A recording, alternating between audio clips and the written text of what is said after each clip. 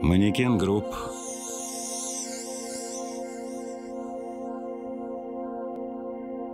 Представляет.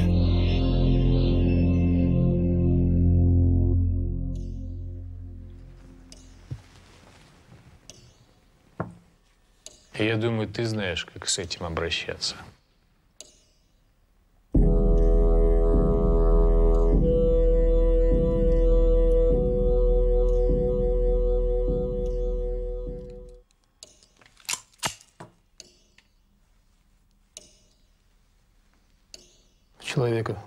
Стрелял? Да нет. Только в себя. Не знаю, смогу ли я в другого. Сможешь. Если в себя не струсил, то... Пришло время, Яков. Арестованы Тухачевский, Орлов, Корк, Якир, Примаков, Эдейман, Фельдман, Путна. В большой игре убираются лучшие генералы. И это в преддверии войны. Ты понимаешь, чем это грозит? Да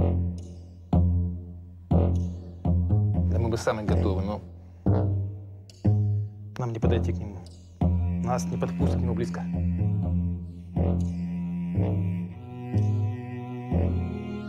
Ты остался фактически один. Все остальные арестованы и убиты.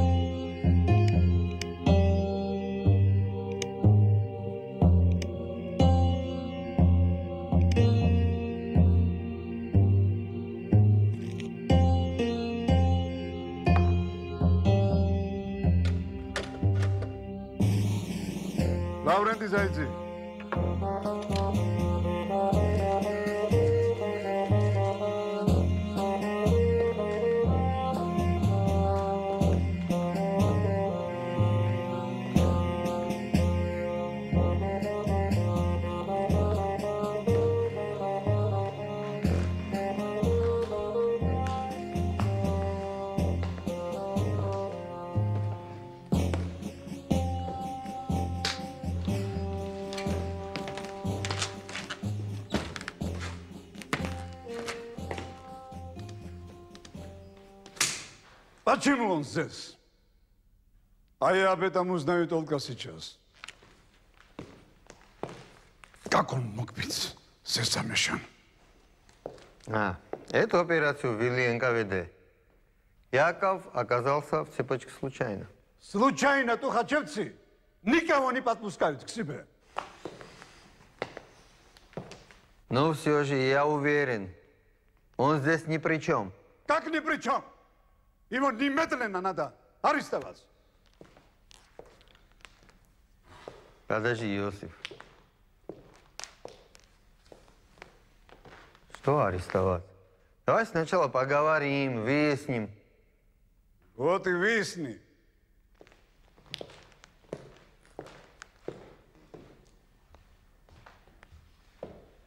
А потом арестуй.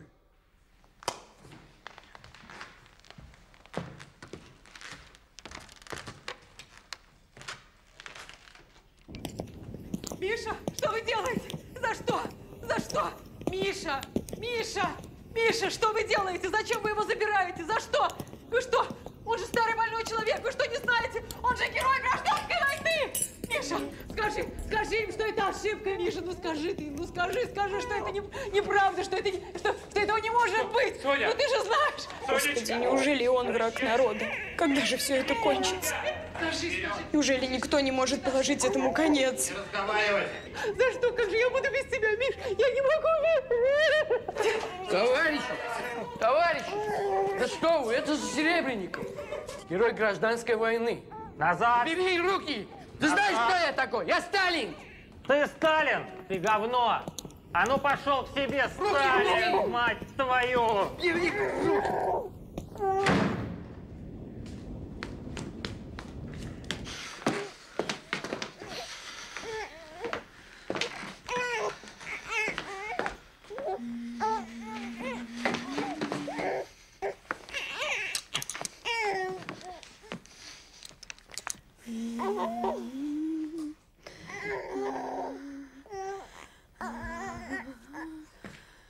Яков! Яков, остановись!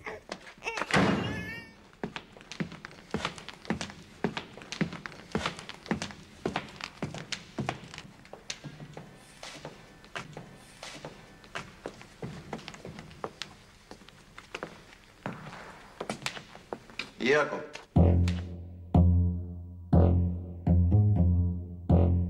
Здравствуй, Яков.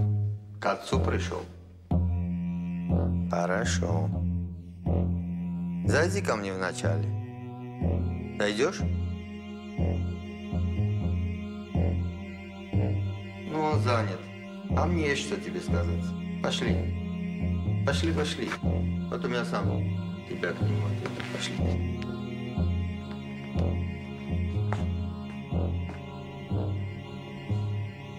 Иди, садись.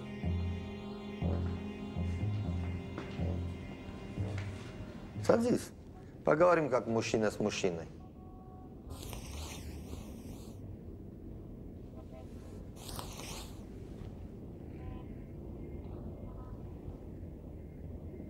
Яков, тебя втянули в заговор.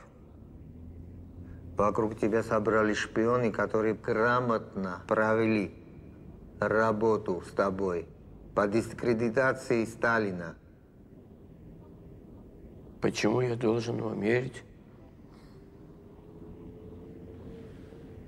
А я докажу.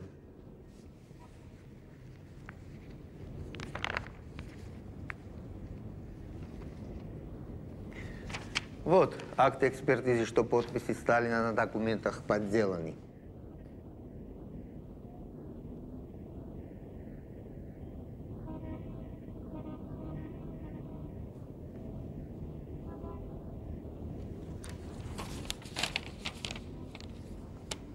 Слушай. Фальшивки о провокаторстве Сталина – это часть операции. Сталин никогда не был агентом царской охранки. Это все брехня. Такая же, как слухи о том, что я агент английской разведки. Чушь. Да, я работал на англичан, но только в интересах дела.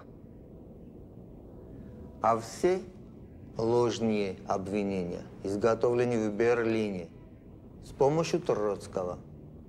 Старые большевики.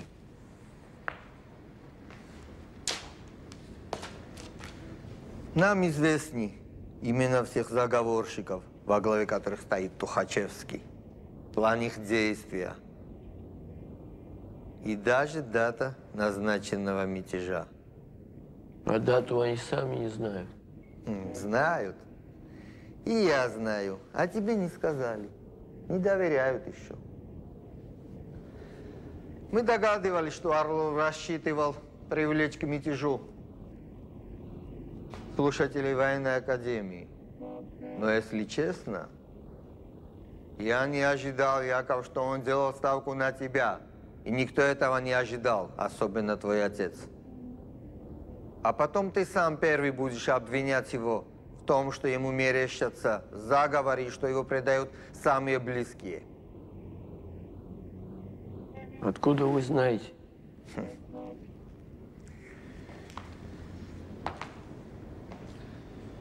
Яков, Яков, наша разведка уже давно приступила к разоблачению заговора Тухачевского.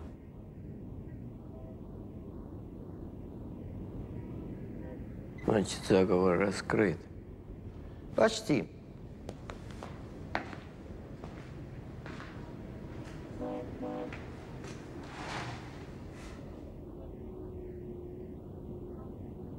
Яков, ты мог допустить огромную ошибку. Ты оказался замешан в заговоре. Какого еще не знала история. Все намного сложнее, чем ты думаешь. Тут замешаны иностранные государства, международная политика, внешние отношения. А ты всего лишь пешка. И случайная пешка. Неужели тебе все равно, что тебя использовали как мальчишку и против своего отца? Я им верил. Да. Они умеют внушать доверие. Где вы встречались?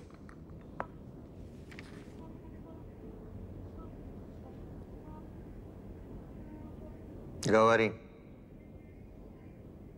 На явочной квартире. Это я знаю. Где еще? В академии.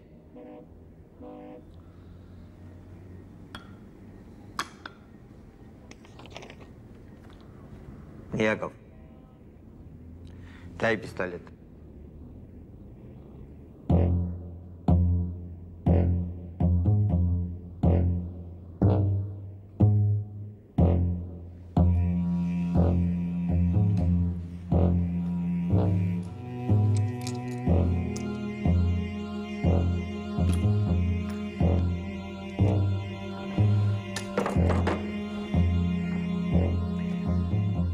Яков, ты не представляешь, какого размаха фигура твоего отца.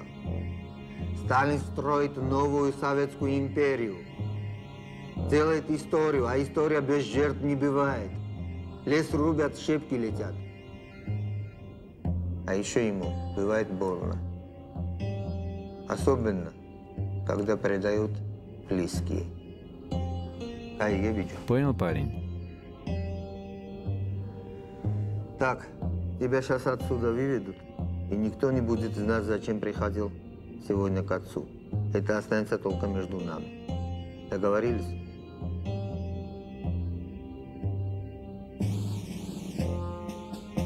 Алекс, Алекс. Хорошо. Иди,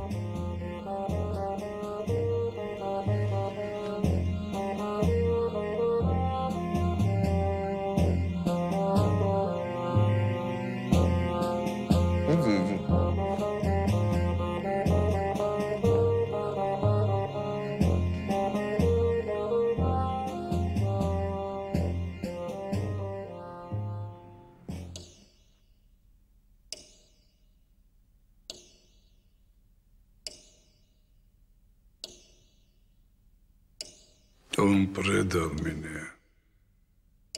Нет. Он ничего не сделал против тебя. Даже после того, как его грамотно обработали. Просто он попал под влияние Орлова, Тухачевцева, Аллилуева. Не трогай его, Иосиф. Он твой сын. Ты же знаешь, я никогда не делал различия, родственники это или нет, если они предатели. Не предавал он тебя.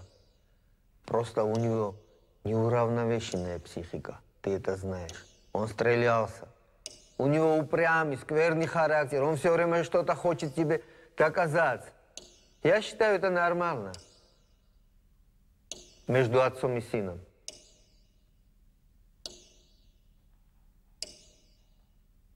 Ладно, Лаврентий, ты умеешь убеждаться. Не буду его арестовывать. Преимущество власти еще и в том, чтобы оказывать благодеяние.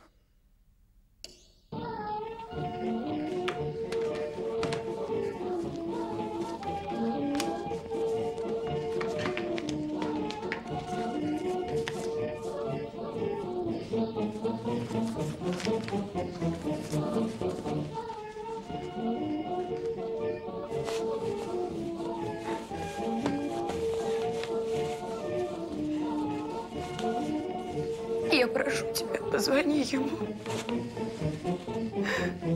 Позвони ему, попроси, чтобы тебя не переводили. Пожалуйста. Ты не можешь просто так уйти на передовую. Почему не могу?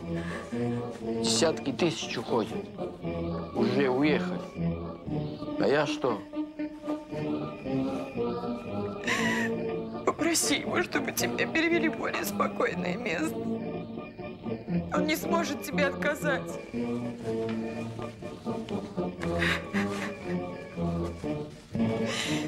Яков, ты меня не слышишь?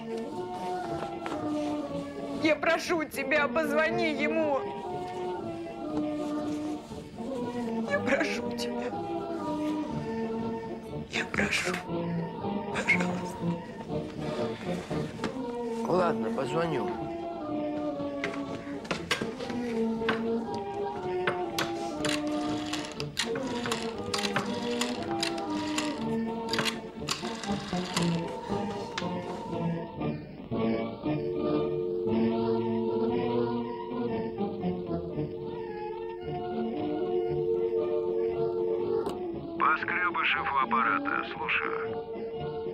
Александр Николаевич, здравствуйте. Это Яков. А можно с отцом поговорить? У него совещание, но я попробую.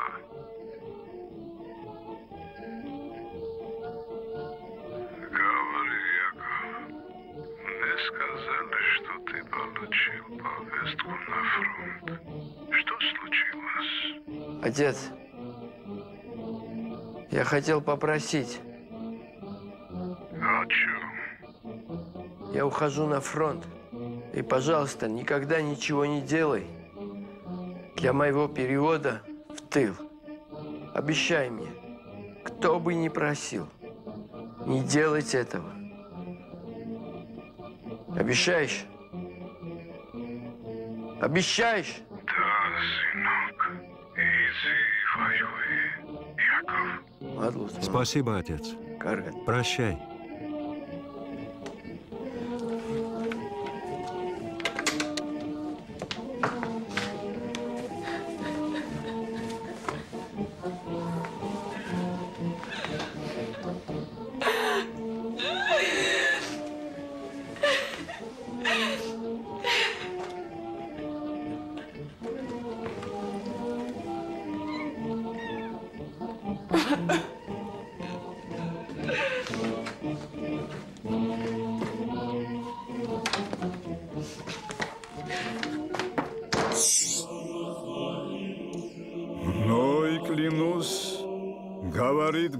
Господь, что так как ты сделал сие дело и не пожалел сына твоего, единственного твоего, для меня, то я, благословляя, благословлю тебя, и умножая, умножу семя твое, как звезды небесные, и как песок на берегу моря. Я владеет семя твое городами врагов своих, и благословятся в семени твоем все народы земли за то, что ты послушался гласа моего.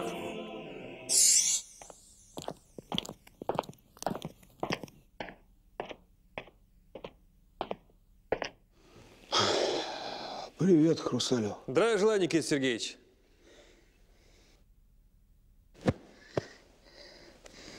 Что, не в гостевой пока? Хрущев Никита Сергеевич, первый секретарь Московского областного и городского комитетов партии, секретарь ЦК, куратор МГБ НКВД. Родился в 1894 году в семье рабочего шахтера. Работал пастухом, затем слесарем. Регулярного образования не имеет. Русский украинского происхождения, как говорил про него Сталин. С 35 по 49 год руководил Украиной. Как водится. Ну, если долго, мне чаю. Ладно? Есть, товарищ Хрущев. Опять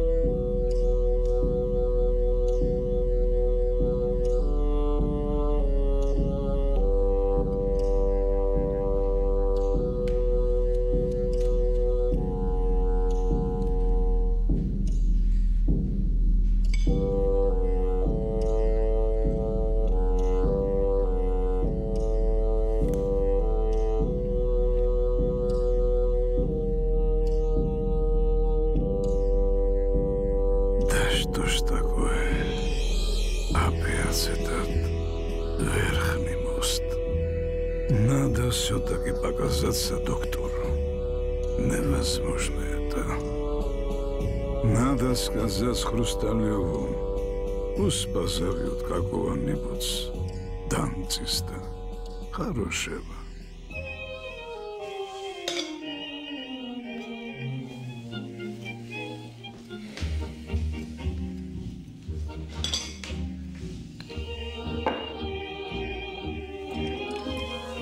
Слушай, Валь, а как твоя подружка-то поживает?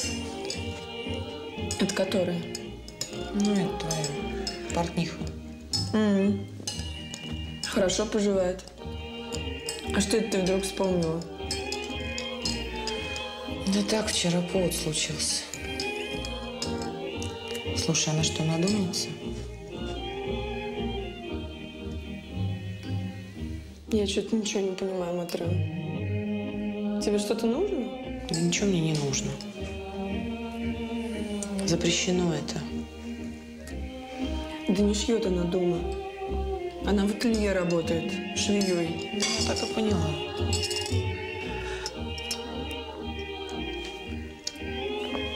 Платье твое из крепдышина, от которого все мужики штабелями валятся, она шила?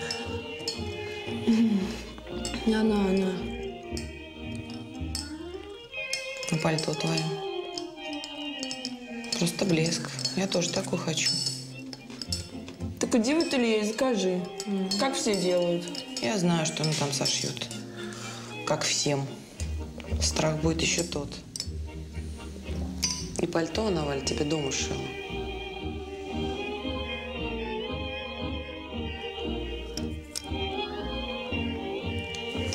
Ой, слушай, а как ее фамилия?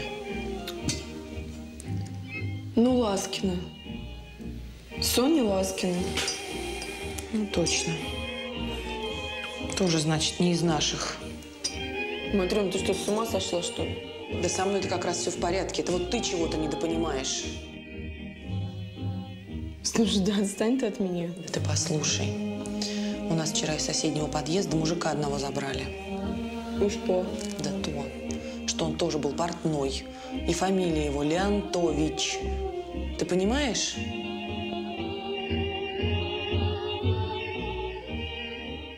Если вызвал одного и ждешь больше 20 минут, значит что-то серьезное. Сталин всегда на все встречи опаздывает. В Потсдам Сталин опоздал на сутки. И американцы, и англичане вынуждены были ждать маршала.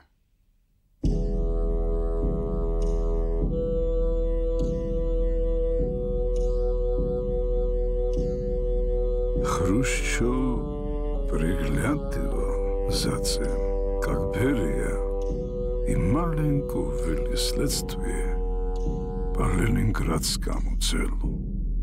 В августе 48 года врач Лидия Тимошук написала письмо о неправильном диагнозе, который лечащие врачи оставили Жданову.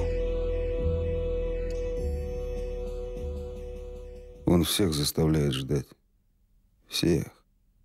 Когда в 49 году Мао Цзэдун приехал в Москву, он долго, полчаса, а может, минут сорок, не выходил из вагона. Надеялся на то, что товарищ Сталин встретит его в вагоне. Наивный китаец. Товарищ Сталин не встретил Мао в вагоне. Он вообще не приехал, он оказал. А потом Мао ждал. Два месяца высочайшей аудиенции. Сталин не принимал его. Мао все это время ходил по вечерней ночной в Москве в Папайе. Кстати, Поскребышев рассказывал, что один дурак-полковник написал Сталину, мол, зимой полковники ходят в попах, а летом ходят, как все, в фуражках. Нельзя ли сделать так, чтобы полковники и летом отличались от прочих, более мелких по званию офицеров? И Сталин ему лично ответил. Разрешить в порядке исключения носить этому полковнику папаху и летом. Смешно. Мао очень обиделся на Сталина. Когда Сталин не встретил его на вокзале. И чтобы сгладить обиду, говорят, Сталин тогда оказал ему одну услугу. Никому больше Сталин такого не делал. Sagvar lissapla svezebedi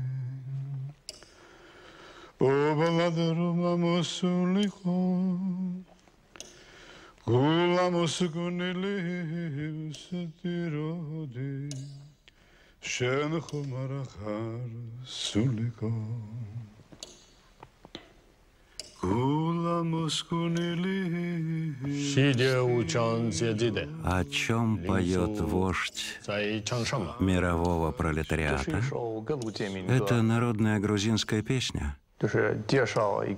О несчастной любви. А в чем суть? Любимый расстается с любимой. Она умерла. А он никак не мог найти ее могилу, чтобы поплакать над ней. Очень грустная песня. И вождь очень душевно ее исполняет. Да, у товарища Сталина очень хороший голос. И он прекрасно ее поет. Прекрасная песня. Да, песня очень красивая. Можно я подпою? Я думаю, товарищ Сталин будет счастлив.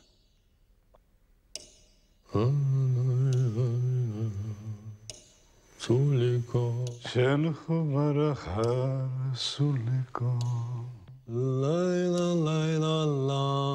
Сулик. Сулико. Мало. Ай, молодец. Маленков,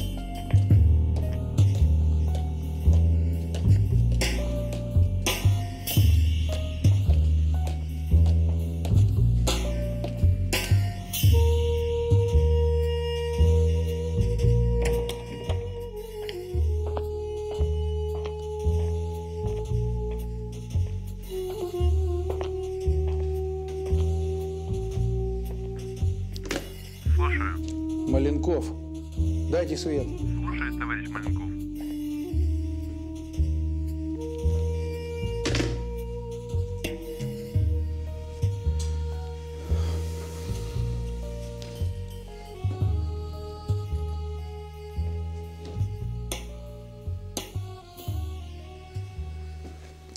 Эту историю с письмом мог придумать Хрущев.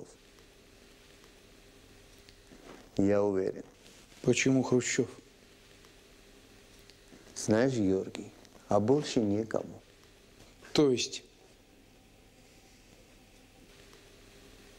В этой стране эту историю могли провернуть несколько человек. Интересно. И кто же это? Ну, во-первых, это мог сделать я.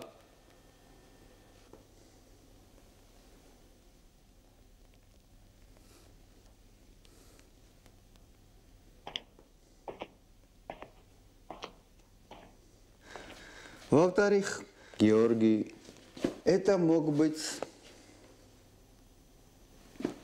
ты.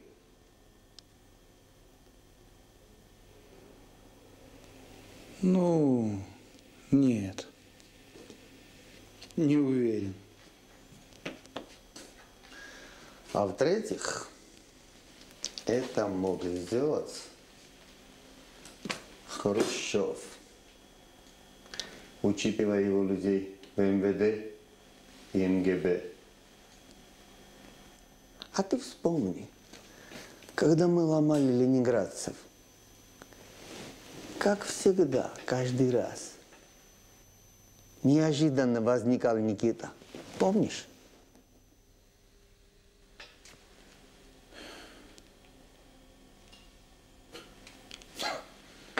Но если это Хрущев, зачем ему так рисковать? А ты что, не понимаешь? Если у него все получится, он валит нас с тобой. Письмо с угрозой Сталину – прямой удар по нам, по тебе, потому что это напечатано на бланке твоего секретариата. А мне прилетит за кадры, которые я оставил в органах, когда возглавлял их. Ну а если это Хрущев, и он победит, он станет самым любимым учеником хозяина.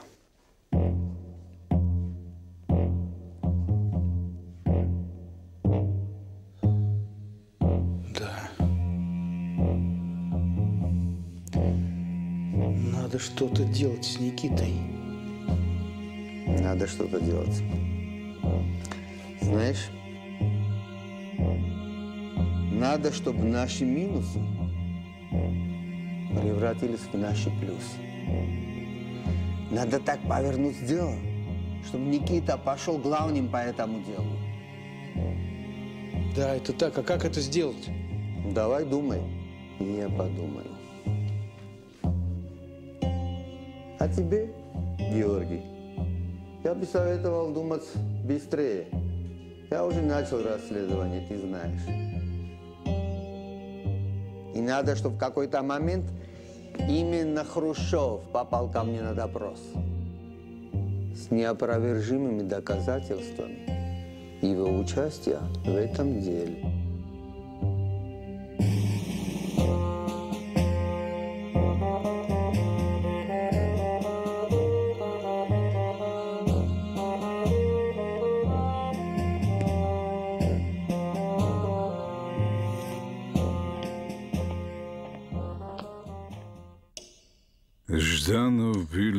Вполне живой, когда я послал к нему Хрущева.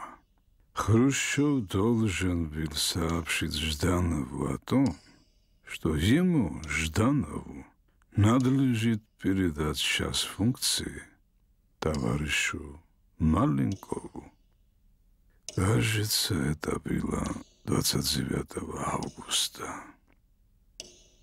А 31 августа 1948 года Андрей Александрович Жданов умер.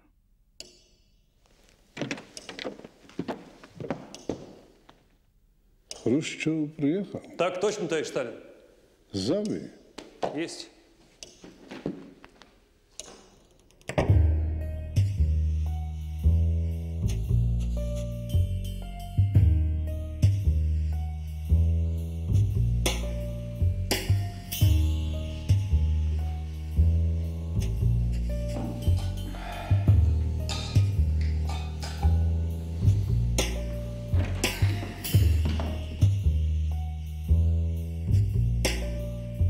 Сергеевич,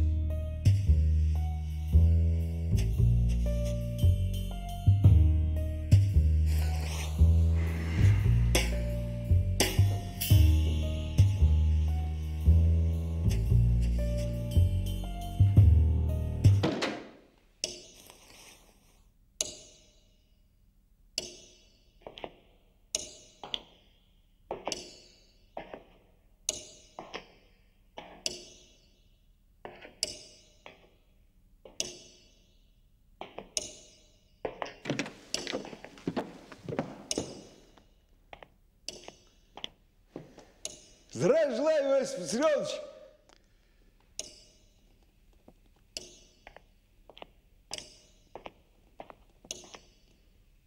Где?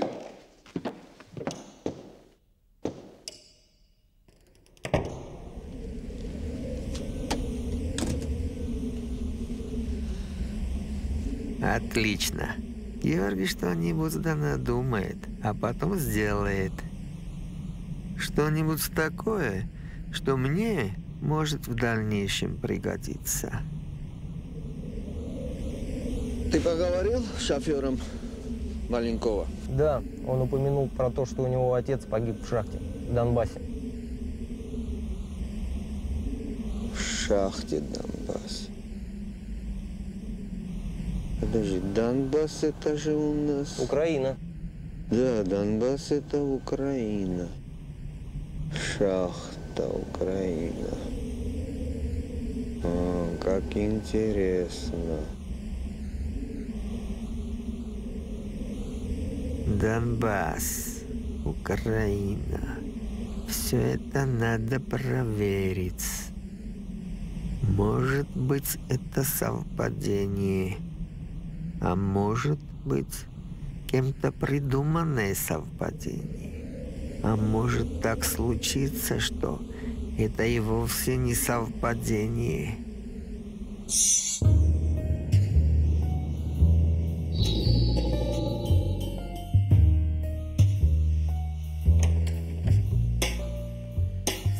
Сэр, операция «Черный принц» началась. Мы связались с мистером Маклаковым. И он дал свое согласие на сотрудничество? Ален Уэллс Даллес родился в 1893 году по профессии юрист. Работал в ЦРУ США с момента его создания. В 1942-1945 годах руководил политразведкой в Европе. Инициатор сепаратных переговоров американцев с Гитлером. В 1953-м новый президент Соединенных Штатов Эйзенхауэр назначил Даллеса директором ЦРУ. Совершенно верно. Все произошло так, как вы предполагали. Мы пообещали ему нашу защиту. Отлично. Маклаков знает о том, что мы будем выходить не только на господина Берию. Нет, мистер Даллес. По всей видимости, нет. Но он может предположить это. Совершенно верно. Надо подумать над этим. Надо сделать так, чтобы господин Берия думал о том, что мы ведем переговоры только с ним. Так точно, мистер Даллес. Мы предусмотрели это.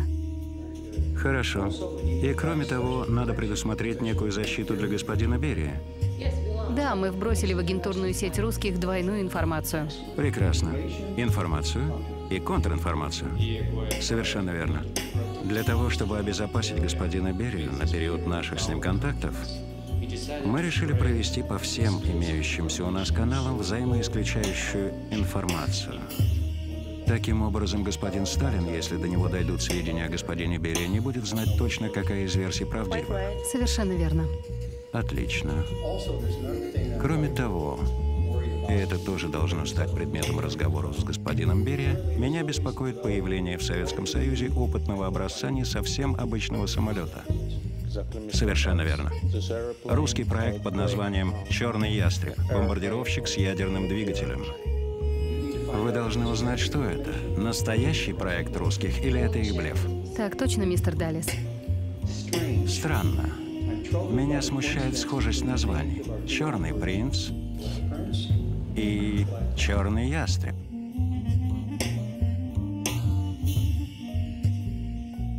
Это только совпадение, мистер Даллес. Что ж, будем надеяться. Будем надеяться.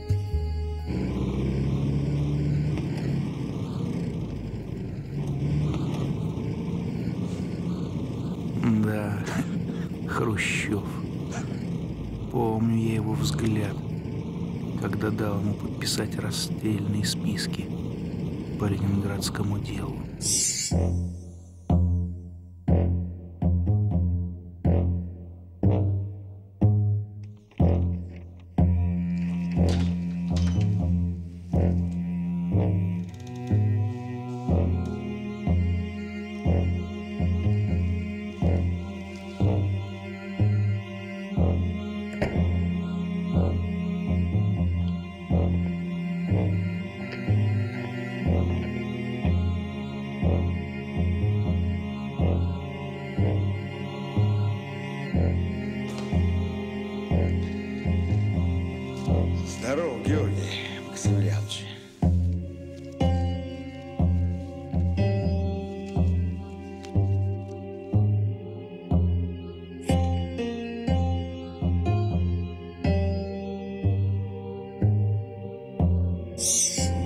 Сразу понял, что это была за бумага. Сталин давал устные указания высокопоставленным членам партии непременно ставить свои подписи под подобного рода бумагами. Эти документы считались документами для внутреннего пользования.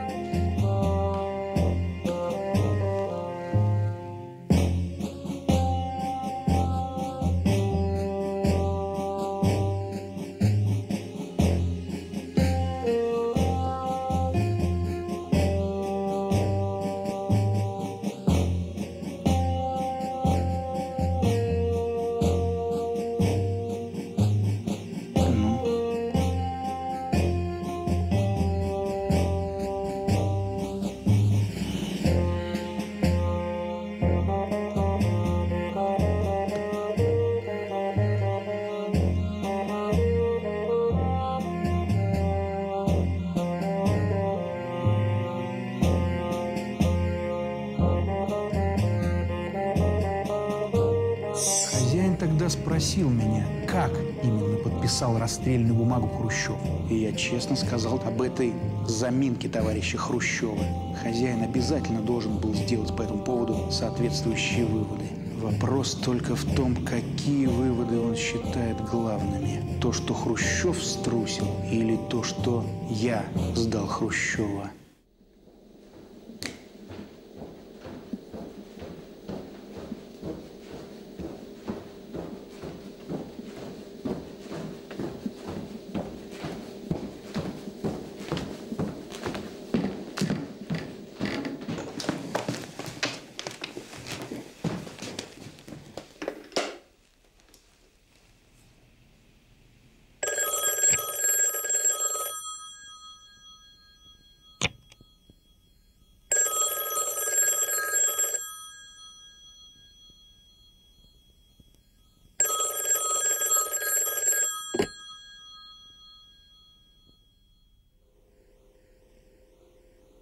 Здесь Хрущев.